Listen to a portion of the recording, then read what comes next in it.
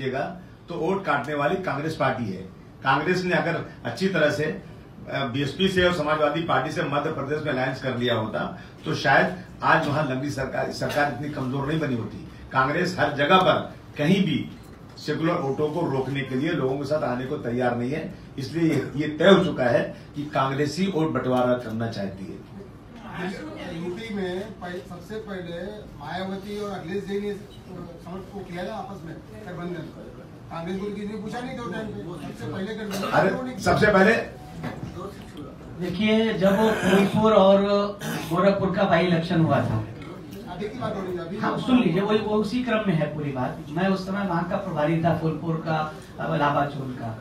उस समय जब वो बाई इलेक्शन हुआ तो बीएसपी ने जब समाजवादी पार्टी के प्रत्याशियों को समर्थन देने का फैसला किया, उस समय कांग्रेस पार्टी ने अपना कैंडिडेट फूलपुर में उतारने का काम किया, गोरखपुर में उतारने का काम किया। और उसका परिणाम ये निकला कि वो दस हज़ार से बारह हज़ार सीट पे वोटों पे सिमट गए।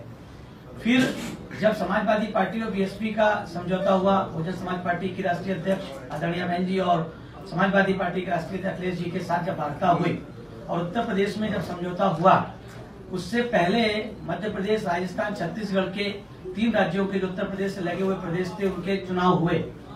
कांग्रेस वहाँ पर किसी भी कीमत पे कांग्रेस नहीं चाहती थी कि ये लोग उस गठबंधन में रहें।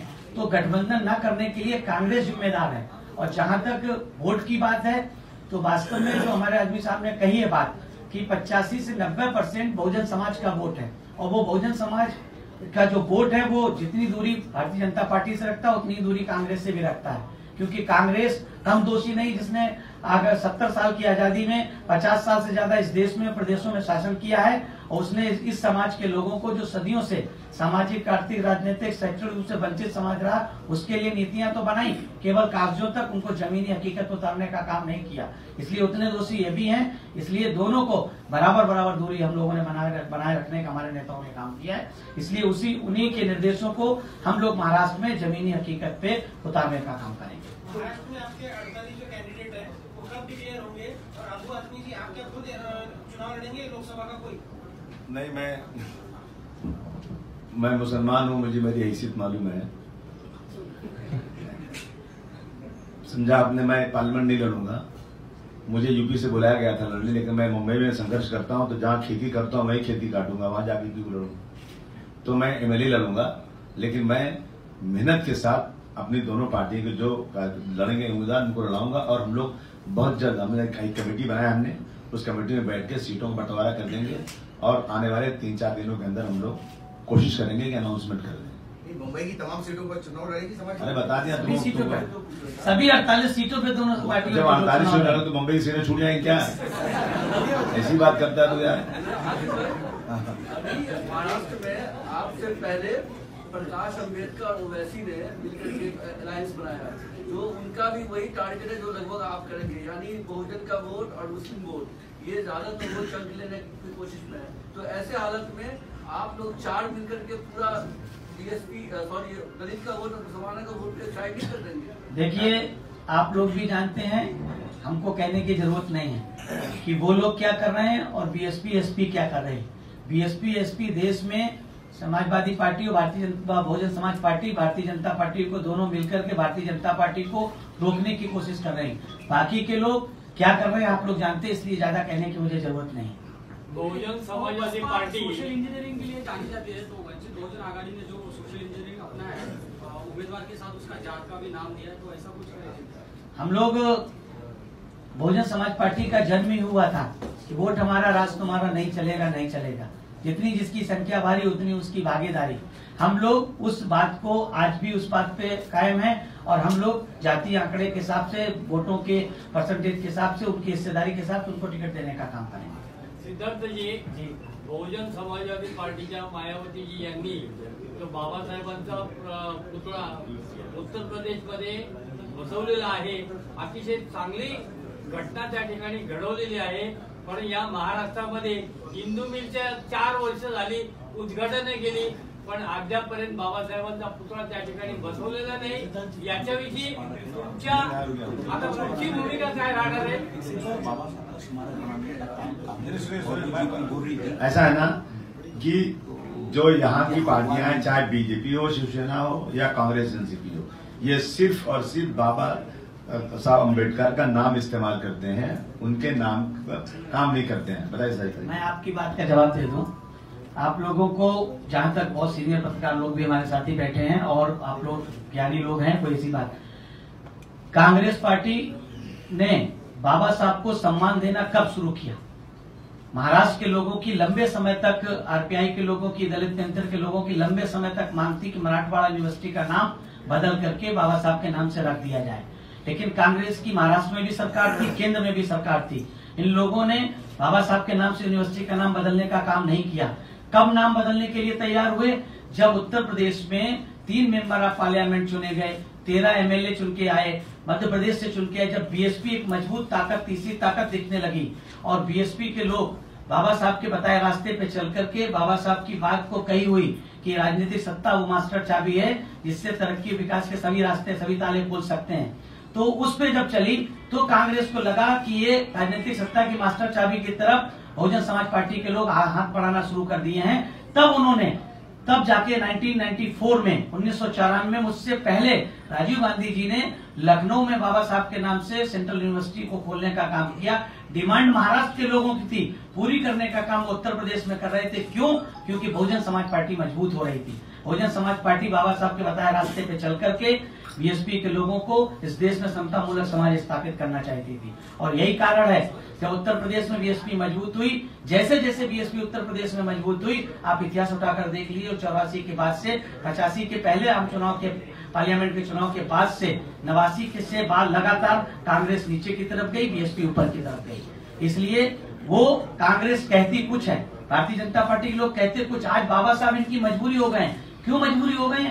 क्योंकि इस देश के बहुजन समाज के लोग बहुजन समाज पार्टी के नेतृत्व में बाबा साहब की विचारधारा के साथ चलने के लिए तैयार हो गए, इसलिए बीजेपी की मजबूरी हो गई, कांग्रेस की मजबूरी हो गई, शिवसेना की मजबूरी हो गई और तमाम दलों की मजबूरी हो गई कि बाबा साहब का नाम लें, उनके नाम के स्मारक की बात करें। नहीं तो सबसे पहले बाबा साहब के नाम पर, छत्रपति साहू जी महाराज के नाम से, महात्मा ज्योतिबा फुले के नाम से, श्री नारायण गुरु के नाम से, तंदे पेरियार के नाम, इन तमाम महापुरुष जिन लोगों ने इस देश में समता मूलक समाज स्थापित करने के लिए संघर्ष किया, उनके नाम पे, उनके नाम को इस देश में, दुनिया में जताने का काम, पहचानवाने का काम बीएसपी ने किया है। इसलिए बीएसपी सही माने में बाबा साहब की विचारधारा पे चलने वाली पार्टी है। बोलिए।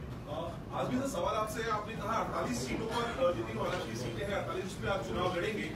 लेकिन ईमानदारी से जवाब चाहता हूँ, कितनी ऐसी सीटें हैं 48 में से, जिन पे आपको लगता है कि आप दोनों का गठबंधन वाकई में असरदार होगा? अगर आप ईमानदारी से सवाल का जवाब देखिए, ऐसा है। ईमानदारी से पूछ रहे हैं अभी कांग्रेस कह रही है कि मस्त हम जो है उत्तर प्रदेश में 2022 में इलेक्शन लड़ेंगे और अपनी सरकार बना लेंगे, जबकि 10-15 सीट मिलना मुश्किल उनको होती है। ईमानदारी से हम कह रहे हैं कि हम जितनी लड़ेंगे, सब जीतेंगे।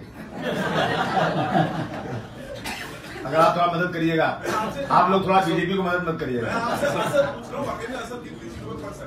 नहीं नहीं असर असर नहीं हम जीतने के लिए लड़ रहे हैं हमको असर असर क्या लेना जी जी। कांग्रेस की जो दो सीटें हैं यूपी में अमेठी और रायबरेली जी। वो आपके गठबंधन ने छोड़े छोड़ दिए है। जी। क्या महाराष्ट्र में भी कोई ऐसा होगा कोई सीट छोड़ेंगे यहाँ बड़ा नेता लड़ता है कांग्रेस का? नहीं अभी तक ऐसा कोई नहीं हाँ, ऐसा कुछ भी अभी नहीं ना तो ऐसी कोई बात नहीं वो दोनों सीटों के लिए हमारी पार्टी की राष्ट्रीय अध्यक्ष आदरणीय बहन जी ने प्रेस के माध्यम जिस दिन गठबंधन की घोषणा की थी तो तर्क के साथ बताया था क्यों हम छोड़ रहे हैं? वो दोनों सीटें छोड़ने का कारण हमारी पार्टी के नेता ने बता दिया था इसलिए उसमें बहुत ज़्यादा मैं बोलना चाहता हूँ। महाराष्ट्र में कांग्रेस का कोई नेता रहता ही नहीं जितने हैं सब घुटने टेक हैं। यहाँ बात करते हैं और जाते हैं फिर। अहमद पटेल साहब से मिलते हैं और तीन दिन रखवाते हैं उनको। उसके बाद सोनिया जी और राहुल गांधी की शक्ल कहीं दिखती है, और वह अपनी बात ही नहीं बोल पाते। तो यहाँ लीडरशिप नहीं, अगर लीडरशिप होती तो पिछली बार असेंबली के इलेक्शन में समाजवादी पार्टी ने अलायंस किया था। और आखिरी दिन रात को पृथ्वीराज चौहान जी ने कहा कि हमें वहाँ से मैसेज दिन- रात को बारह बजे मैसेज करती हैं सोनिया जी, कि कल आखिरी दिन में फॉर्म भरने का, अब समाजवादी पार्टी को बीच में रखवा दो, कह दो कि अलायंस टूट गया। तो मैंने कहा फिर आप नेता है कि चपरासी अशोक सिद्धार्थ जी जी। आज यूपी गवर्नमेंट योगी गवर्नमेंट को दो साल पूरे हो गए। उन्नीस और 2004 के लोकसभा इलेक्शन में बहुजन समाजवादी पार्टी का विदर्भ में बहुत बड़ा प्रभाव देखा गया था। जी। और जब वहाँ पे कांग्रेस का सफाया हो गया था। मेरा सवाल यह है कि क्या उत्तर प्रदेश की तरह महाराष्ट्र में बहन जी और अखिलेश जी की ज्वाइंट रैली होने वाली है? और एक और विदर्भ को लेके बीएसपी की क्या प्लान है? देखिए, विदर्भा में जैसा आपने कहा, बहुत बढ़िया प्रश्न किया कि विदर्भा में बहुजन समाज पार्टी बहुत स्ट्रांग है, कैडर बहुत नीचे तक हमारा है, इसमें कोई शक नहीं। और पिछले रिज़ल्ट के हिसाब से भी लगता है कि हम सब सीटों पे हमारा वोट अच्छा खासा है। जहाँ तक दोनों नेताओं की जनसभा की बात है, वो हम लोगों ने डिमांड रखी है। और जल्दी हम लोगों को डिसाइड हो जाएगा कि कहाँ पे हमको, वहाँ पे ज्वाइंट रैली मिलेगी। नहीं तो बहन जी का पहला प्रोग्राम पाँच तारीख को हमारा नागपुर डिसाइड हो गया है। पाँच तारीख को बहन जी आ रही हम लोग निवेदन करेंगे कि भाई राष्ट्रीय अध्यक्ष अखिलेश जी भी आए। हमारे लोगों का प्रयास रहेगा उसके उनकी अवेलेबिलिटी के हिसाब से हम लोग कोशिश करेंगे कि विदर्भा हमारा जो बहुत स्ट्रांग जोन है वहाँ पर हम लोग मजबूती के साथ ऐसा कुछ करें कि महाराष्ट्र में कुछ ऐसा रिज़ल्ट आए जो लोगों को लगे कि नहीं हम लोगों ने प्रयास किया गठबंधन का तो अच्छा रिज़ल्ट आया। पाँच अप्रैल। जी। बताइए आपने अभी कहा था कि हम लॉन्ग टर्म सोच के महाराष्ट्र की राजनीति में ये कदम उठा रहे हैं। जी। जी। तो अभी छह महीने के बाद विधानसभा भी है। जी। तो आपकी ये जो है हाँ। वो विधानसभा भी पूरे लड़ेगी या और किसी के साथ में लेने का विचार अभी तक तो जो विधानसभा के चुनाव है वो भी हम दोनों लोग मिलके ही लड़ेंगे।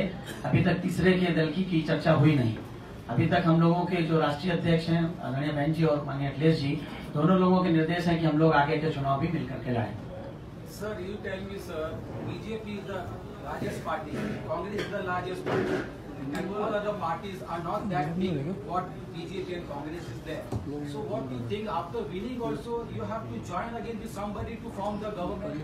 ये कोई ज़रूरी थोड़ी कि बीएसपी भी देश की तीसरी बड़ी पार्टी है। भले हमारा लोकसभा के एक भी सदस्य नहीं है लेकिन वोट परसेंटेज के हिसाब से बहुजन समाज पार्टी देश की तीसरी बड़ी पार्टी है।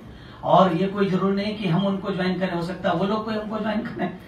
ये तो हो सकता है ना। कांग्रेस हमको बाकी लोग। भाई अगर भारतीय जनता पार्टी को रोकना है तो ये ज़रूरी है कि हम ही सेक्रीफाइस करें। भाई बहुजन समाज के लोग तो पूरा सदियों से सेक्रीफाइस करते आए हैं। अब वो लोग भी तो सेक्रीफाइस का कुछ सोचें। अबू जी अबू जी जिस तरह से अभी अखिलेश यादव जी ने बोला है कि अब की बार जो पीएम मिलेगा देश को यूपी से मिलेगा तो अखिलेश जी होंगे या बहन जी होंगी? अगर आपकी सरकार बनती है। आपने अगर अखिलेश जी का पूरा पूरा अगर सुना हो कि पूरा पूरा अगर उन्होंने जवाब सुना हो तो उससे आपको स्पष्ट लग रहा है कि अखिलेश जी बनेंगे कि कौन बनेगा? तो, तो आप भी समझ रहे हैं। आप तो बस समझ लीजिए जी। बहुजन समाज पार्टी आणि समाजवादी पार्टीतर्फे ही पत्रकार परिषद होते। जर ही पत्रकार परिषद होत असताना बाळासाहेब आंबेडकर आणि ओसी साहेब यांचे या पद्धतीने अलायन्स वगैरे झालेलं आहे.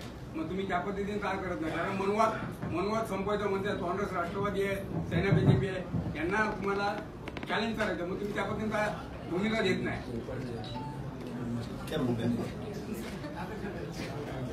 भूमिका क्या नहीं सवाल क्या क्या क्या है? बताइए नाम क्या बात है? देखिए असली समाजवादी और बहुजन समाज पार्टी? असली अरे असली असली पार्टी है जो समाज के दबे कुचले दलित मुस्लिम को रिप्रेजेंट करती है।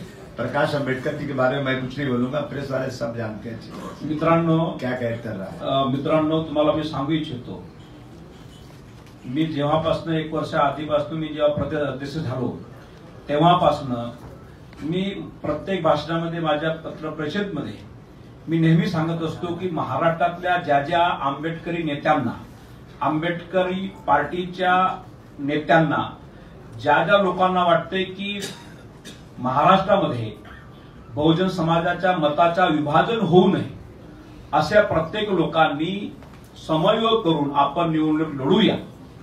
परंतु एक वर्षाचा कालखंड झालेला आहे. दरवेळेस अजूनही काही कोणत्याही प्रकाश आंबेडकरांकडे कोणता त्यांच्या नेताही त्या आम्हाला भेटलेला नाही. त्यातल्या त्यात आमचे काही लोक त्यांच्या प्रदेशाध्यक्षाला भेटल्यानंतर त्यांच्याकडून कुठल्याही प्रकारच्या आम्हाला अजूनही काही आश्वासन मिळालं नाही काही बोलणं झालेलं नाही. काँग्रेस सोबतही आमच्या बोलणं झालेलं नाही. फक्त हे तुमच्या मीडियाच्या लोकांना माहीत असेल ते मला माहीत नाही. परंतु मी प्रदेश अध्यक्षाच्या नात्याने किंवा आमचे जे राष्ट्रीय महासचिव आहे खासदार साहेब रैना साहेब आमच्या महाराष्ट्रातल्या कोणत्याही नेत्यासोबत नाही तर वंचित आघाडीच्या नेत्यासोबत कोणती चर्चा झाली? नाही काँग्रेस सोबत चर्चा झालेली आहे. त्यामुळे आज जी पत्रपरिषद होत आहे ती समाजवादी पार्टी आणि बहुजन समाज पक्षाची पार्टीच्या युतीची ही पत्रपरिषद आहे. आणि बहुजन समाज पक्ष आणि समाजवादी पक्ष अठ्ठेचाळीस लोकसभा आपल्या ताकदीवर लढतील. आणि बहनजे जे जे आदेश आहेत ते आम्ही तंतोतंत पालन करू. धन्यवाद. धन्यवाद. थैंक यू वेरी मच सभी साथियों का बहुत बहुत धन्यवाद.